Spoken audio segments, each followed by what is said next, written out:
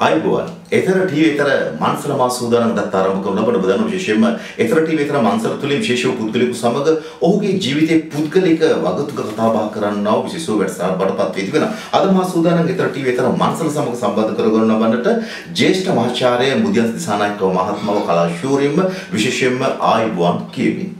Ivan මහාචාර්යතුමා විශේෂයෙන්ම සඳහන් කළේ කුරුණෑගල දිස්ත්‍රික්කයේ වාරේපොළ රන්දිනිය කියන පිටිසර සුන්දර වූ ගම්මානයේ තමා ඉපදුණු ලබන්නේ. අනතුරු විශේෂයෙන්ම පසු කාලීනව ශ්‍රී ලාංකීය කලා ශේෂ්ත්‍ර කලා කෙත තුළ දැවැන්ත විප්ලවයක් ඉටු කිරීමේ මහඟු සේවයක් ඉටු කරනු ලබනවා. විශේෂයෙන්ම මාසුදානම් මහාචාර්යතුමාගේ මූලික වශයෙන් මේ යන්නව ගමන් ප්‍රවේශය පිළිබඳව වර්තමානයේ පිළිබඳව කෙටියෙන් කතා බහ කරන්න. ඇත්තම ඔය කිව්වාගේ මේ මම ඉපදුනේ කුරුණෑගල දිස්ත්‍රික්කයේ කියන පිටසර ගම්මාන තමයි රන්දිනී කියන ඒක ඓතිහාසික ගමක්. ඉතින් මම ගමේ මූලික අධ්‍යාපන ලබලා ඊට පස්සේ නගරයට ඇවිල්ලා උසස් අධ්‍යාපන ලබලා ඉතින් මම උසස් අධ්‍යාපනය සඳහා කොළඹට ආවා. ඇවිල්ලා විශ්වවිද්‍යාලයට වෙලා ප්‍රාසංගික කලා පිළිබඳව ප්‍රථම පාඩි ලබා ගත්තා. ඒ ඉගෙන ගන්න කාලය තුල මට හිතුණා මේ විෂය ප්‍රබන්ධ මීට වඩා පරිශනාත්මක තොරතුරු හෙළි කරන්නට ඕනේ කියලා. ඉතින් අර ග්‍රාමීය පරිසරයෙන් ඉඳලා කොළඹට ආවට පස්සේ අපි භාෂා කිපයක් ඉගෙනගෙන ඒ අතරේ මේ නාට්‍ය කලාව ඉගෙනගෙන තවදුරටත් ප්‍රගුණ කරමින් මම ප්‍රථම පාදියෙන් ලංකාවේ පළවෙනි වතාවට ඒ උපාධියෙන් ප්‍රථම පන්ති සමාද ලබාගත්තු ප්‍රථමයා බවට පත් වුණා. ඒතර ඒකෙන් උත්තේජන ලැබුවම හිතුවා තවදුරටත් පරිශනාත්මක අධ්‍යයනය කරන්න ඕන කියලා ශ්‍රී ජාව මේ ජාවදපුර විශ්වවිද්‍යාලයට ඇතුළත් වෙලා ශාස්ත්‍රපති උපාධියක් ලබා ගත්තා කොහොම කංකාරිය කියන ශාන්තිකාර සම්බන්ධව සමාජ මානවිද්‍යාත්මක අධ්‍යයනයක් කරලා ඒකෙන් ශාස්ත්‍රපති උපාධිය නැත්නම් MA උපාධිය ලබා ගත්තා. එතෙන්දී මට තවදුරටත් හිතුණා තවදුරටත් මේ විෂය පිළිබඳ ප්‍රවීණතාව ලබා ගන්නට ඕන කියලා මම ඉන්දියාවේ බාහ්කණ්ඩ සංගීත විශ්වවිද්‍යාල පීඨයට ගිහිල්ලා ඉන්දියාවෙන් ඉන්දියානු කතක් නාට්‍ය පිළිබඳ ඩිප්ලෝමා උපාධියක් ගත්තා. ඊට පස්සේ ලංකාවට ඇවිල්ලා තවදුරටත් මේ ඒ වෙනකොට ලංකාවේ ආචාර්ය උපාධිය කරන් තිබුණේ නැහැ කවුරුවත් නාට්‍ය පිළිබඳ. ඒ නිසා මම ජවහර්ලාල් විශ්වවිද්‍යාලය ඇතුළත් කළා සමාජ මානවිද්‍යාත්මක පරීක්ෂණ කළා පුත්තල දිස්ත්‍රික්කයේ පිළිබඳ. ඒ ඒ පිළිබඳ ලිපි පරීක්ෂණ ග්‍රන්ථයට දර්ශන චූරි උපාධිය මත ආචාර්ය උපාධිය ලැබුණා. ඉතින් ඒ අධ්‍යයනන් දිගින් දිගටම කරන අතින් මම තාම බොහෝ පොතපත ලියපු නිසා මට පුළුවන් වුණා ඇත්තටම ආරම්භයෙන් කියන්න ගමේ පන් කෙනෙක් වුණත් ඔබ සමාජයට ගමේ පන් කෙනෙක් වෙන්න පුළුවන් අධෛර්යමත් වෙන්න පුළුවන් අධෛර්යමත් වෙන්න එපා අපිට කොහේ ඉපදුනත් අපිට අවශ්‍යතාව තියෙනවා නම් අපේ සමාජීය ලෝකේ ඕන තැනකට අපිට යන්න පුළුවන් මම ලංකා ඉතිහාසයේ 1555 ලංකා ඉතිහාසයේ නර්තන පිළිබඳ ප්‍රථම මහාචාර්යවරයා විදිහට මහාචාර්ය පදවිය මම ලබා ගත්තා. ඉතින් මහාචාර්ය පදවිය මහාචාර්ය පදවිය ලබා ගැනීමත් එක්ක නර්තන මම ඔබට කියන්න කැමති නර්තන විෂය ක්ෂේත්‍රයේ නව පිබිදීමක් ඇති වුණා. ඒ කියන්නේ නර්තන විෂයෙන්ුත් ඕනම දෙයක් කරන්න පුළුවන්. ඕනම තැනකට යන්න පුළුවන් කියන මතවාදය මට ගෙන්න පුළුවන් වුණා ප්‍රායෝගිකව. එතකම් මේ නර්තන ගායන වාදන සංගීත කලාව මේ කලා විෂයන් වලට වැඩි තැනක් තිබුණේ නැහැ. විද්‍යා වාණිජ විෂයන් වලට තමයි සමාජයේ තැනක් තිබුණේ.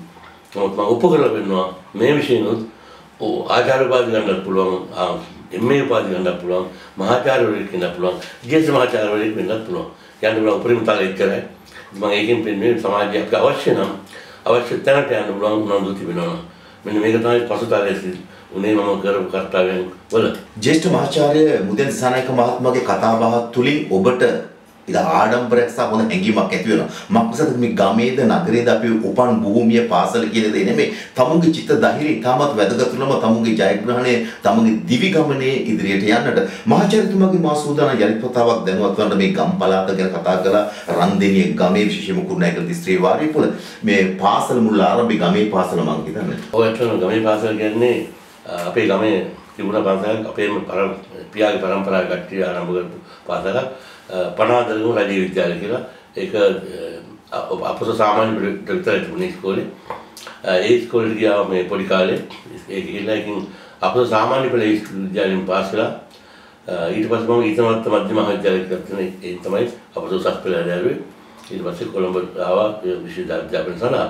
ඇත්තම නම් ඒක මම කියන්න කැමති වෙන්නේ මේක නිකන් හැමෝම කියන සුන්දර කතාවක් නෙමෙයි. දැන් ගමේ පාසල් අධ්‍යාපන යන කාලේ අපි ළඟ තිබුණේ මානසික වදයක්. මේ දැන් පාසල් යන දරුවෝ හරිම ස්ට්‍රෙස් කියලා අපි කියන්නේ. හරි මානසික වදයක්.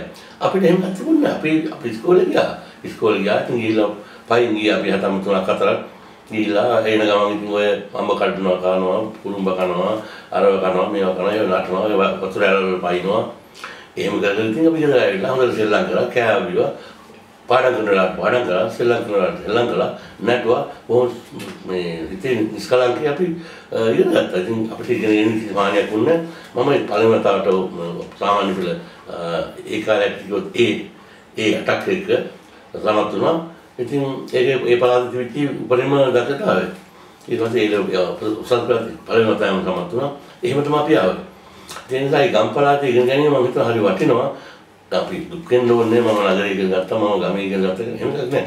මම හැම වෙලාවෙම කියන්නේ තමයි අවශ්‍ය නම් ඔබට අවශ්‍ය නම් ඔබේ අවශ්‍ය ටාගට් එකට ඉලක්කයට යන්නට බැරි කමක් නෑ. ඔද මහාචාර්යතුමා පිළිබඳව නම් වගතුක බොහෝ දෙනෙක් සමස්ත දේශය තුලින් අපි දන්නවා. නමුත් මම තම කැමති දැනුවත් වන විශේෂම විතර මන්සල තුලදී දෙමව්පියන් සහ පවුලේ සමාජිකයන් පිළිබඳව යමක් ඔව් එතන මගේ මව ගෘහණියක් විදිහට හිටපු කෙනෙක්. පියා ම්, ඉඳන් හිමි වැලිකරුවෙක්. ඔහුට උපතින් ආපු වතු පිටි අ, ඉඩකඩක් තිබුණා. අ, එතකොට අපේ පවුලේ සහෝදර සහෝදරියෝ අටක් ඉන්නවා. ඒ කියන්නේ පුංචි පවුලක් නෙමෙයි හොඳ ලොකු පවුලක්. පිරිමි හතරයි ගෑනු හතරයි. මම පා- පා- පවුලේ හයවෙනියා මම. අ, අනික් අය සහෝදර සහෝදරියෝ ඒ අයගෙනුත් සහෝදර තුන්දෙනෙක් දෙන්නෙක් විශ්වවිද්‍යාල අධ්‍යාපන ලබපයි රජ ඉහළ රැකියා කරපයි ඔය වගේ පවුලක් තමයි අපේ පවුල. බොහොම සුන්දර ලොකු පවුලක් අර සිංහල අපේකම අපේ ජාතිය වර්ධනය කරන්න හොඳ පවුලක් ආදර්ශයක් ඒවකට තිබුණ අදත් අපේ දේ අවශ්‍ය වී තිබෙනවා මේ සුහදව කතා බහ කරන තුල විශේෂයෙන්ම විදේශ සංචාරයත් ඔබ යෙදී සිටි දෙයක් අපි කතා බහ කරමු ඔව් ඇත්තටම ඔබ කිව්වා වගේ මම විදේශ රටවල් 50කට ගියපු කෙනෙක්. බොහෝ රටවල සංස්කෘතිය අපේ රටේ සංස්කෘතිය ව්‍යාප්ත කිරීමට මම දායක වෙන කෙනෙක්. මෙවර මම ඉතාලියට ආවේ මගේම මගේම ලංකාවේ ඉගෙනගත්තු ශිෂ්‍යයෙක් ඉන්න තාම දක්ෂ ශිෂ්‍යෙක් සුභාෂ් කියලා. ඒ සුභාෂ් අ, මිලානෝවල ඔහු නර්තන පාසල් දෙකක් පවත්වාගෙන යනවා මිලානෝ සහ බ්‍රේෂියාවල. අ, ඔහුගේ නිර්මාණ නර්තන ප්‍රසංගයක් තිබුණා පහුගිය සතියේ. ඒ නිර්මාණ ප්‍රසංගයේ ප්‍රධාන ආරය තම ආරය තමුත්තා විදිහට මම ආවා. ඔහු ඉතාම හොඳ නර්තන නිර්මාණ නර්තන ප්‍රසංගයක් පැවැත්වුවා. පැවැත්වුණාමාරක් විතර. නර්තන නිර්මාණ නර්තන අංග 30ක් විතර. ඉතාම හොඳ නිර්මාණාත්මක ප්‍රාසංගික සංජානනයක් ගත කළා. ඊට පස්සේ මේ දැන් අද දවසේ තියෙනවා තවත් අපේ හිතවතියක් අපේ එක්තරා විදිහකට සමකාලීන කිව්වත් කවන්න මාන්‍ය ජයශාන්ත කියලා තවත් ගුරුතුමියක් ඉන්නවා. එතුමියත් මේ බිලානෝවල නර්තන පාසලක් පවත්වාගෙන යනවා. ඒ පාසලේදී එතුමියට උපහාර පිණිස අ, වන්දනා කියලා සංදර්ශනයක් ලැහැත්ති කරලා තිනවා එතුමියගේ ගෝල බාලයෝ දෙමාපියෝ එකතු වෙලා. ඉතින් එතුමිය අවුරුදු ගණනාවක් මේ නර්තන විෂය ක්ෂේත්‍රයට වාදන ක්ෂේත්‍රයට නර්තන- ගායන ක්ෂේත්‍රයට අ, තමන්ගේ තමන්ගේ දක්ෂ- දක්ෂතාවය මුදා හරපු හොඳ ආචාර්යවරියක්. ඒ තමන්ගේ ගෝල බාලයෝ එතුමියට උපහාර උත්සවයක් පවත්වන අද වන්දනා කියලා ඒකේ ප්‍රධාන උත්සාහ විදිහට අද සහභාගී වෙනවා මේවර ඉතාලියට ආවේ. ජ්‍යෙෂ්ඨ මහාචාර්යතුමනි ඔබ විශේෂ වූ පොතපත රාශියක් ලියපු නර්තනය වෙනුවෙන් සංස්කෘතිය වෙනුවෙන් අපේ දේ අපේකම රැකගන්න බොහොම අභිමානවත් කැපවීමක් කරන පුද්ගලයෙකු හැටියට මේ විදේශගත ශ්‍රමිකයෝ හැටියට අපි සහ අපේ තිබෙන නර්තන දායකත්වයත් විශේෂම ලාංකික දූදරුවන් තුළ තිබෙන ලාංකිකත තිබෙන වෙනස සහ බැඳීම කොහොමද දකින්නේ? දැන් ඒක තම හොඳ ප්‍රශ්නයක් මොකද අපි හිතන්න ඕන කාරණයක් තියෙනවා. අපි මොන රටක මොන අවුරුදු ගාණක් හිටියත් අපි ඒ රටේ පුරවැසියෝ බවටපත් වුණා අපි ශ්‍රී ලාංකිකයෝ බව අමතක කරන්න එපා. අපි අවුරුදු 100ක් 100ක් මෙහි හිටියත් අපි ශ්‍රී ලාංකිකයෝ. ඒ නිසා ඔබේ දරුවන්ට හැම වෙලාවෙම ලාංකීය සංස්කෘතිය ලාංකීය භාෂාව සිංහල භාෂාව ඔබ මොන ආගමද හවත් කමන්නේ සිංහල භාෂාව අමතක කරන්න එපා. ඒ භාෂාවත් එක්ක ඒ සංස්කෘතිය තමන්ගේ දරුවට ස- සංජානනය කරන්න. මොකද එසේ නොවුනොත් ඔබට ඔබේ ලංකාවේ දරුවෙක් නෙමෙයි ලැබෙන්නේ. ඔබට ලැබෙන්නේ විදේශી දරුවෙක්.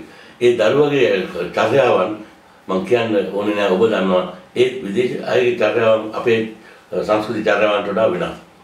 ඒ නිසා ඔබට ඔබ ඔබ වයසට ගියාට පස්සේ ඔබ පශ්චාත්තාප වෙයි කවදා දවසක තනියම දුක් වෙයි අනේ මට මගේම ළමෙක් හදාගන්න බැරුණා මගේම සංස්කෘතිය ගාන ළමෙක් හදාගන්න බැරුණා කියලා.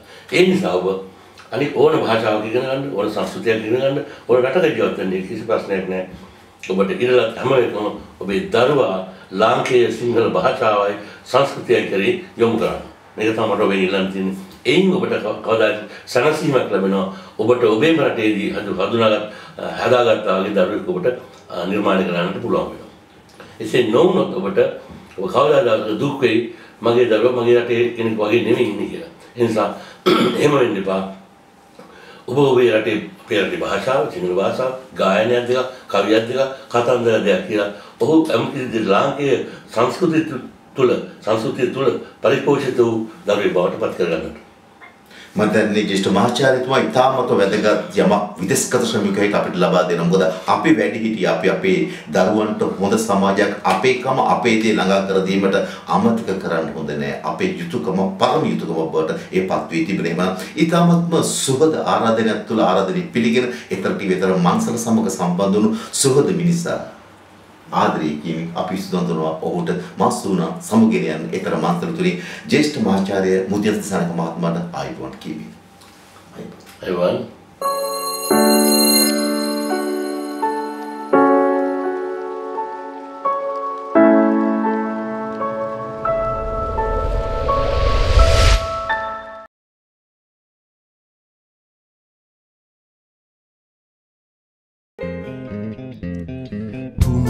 කඳු පිළින් ඇලදුලින් ගඟින් මදනලට මුසුව නිවහනට ඉබෙන.